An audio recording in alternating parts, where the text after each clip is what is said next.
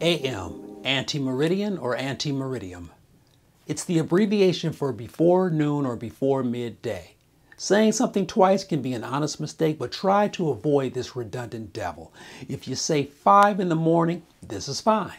But if you say 5 a.m. in the morning, this is redundant because AM already implies morning. Ante meridiem, AM, antemeridian, AM.